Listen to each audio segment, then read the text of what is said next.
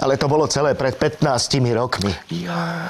Ja som prišiel sem na toto oddelenie a bol som úplné ucho. Nič som nevedel a chlapi tu chodili, už boli rozbehnutí. Mladý šéf. No.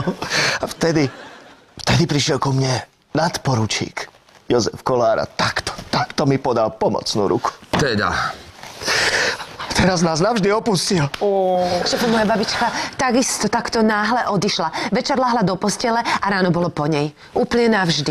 A m, podľa štatistík najviac infarktov dostávajú ľudia v spánku. Čo by infarkt? Padol na ňu šiaci stroj, čo mala vyložený na skrini. Šéfe, ale pohreb mala krásny. Toľko, Čo je? toľko ľudí, šéfe, celé Topolčany sa tam stretli.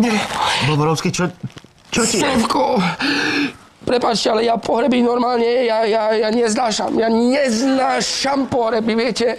Lebo ja keď som bol malý chlapec, áno, malilinký Ferko, viete, som bol malilinký Ferko, áno, tak, tak nám zomrela veľká tlustá teta Viera. Strašne bola zlá, strašne zlá. No a ako mala pohreb, a, tak uh, ma núčili, aby som sa s ňou rozlúčil, aby som ju poboskal, hej, keď ma, b- bola v tej rakve, hej. No tak ja som nechcel, ja som sa bránil, bránil, viete. Ale oni ma núčili, tak som si povedal, že dobre, však rodina nie.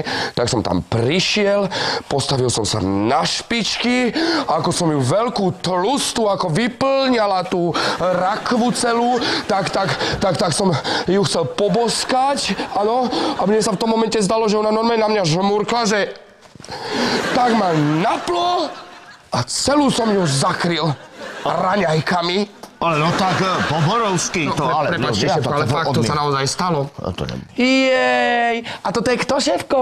To je námorník. Boborovský. Toto je nadporučík Joško Kolár. Končiť! Vsik!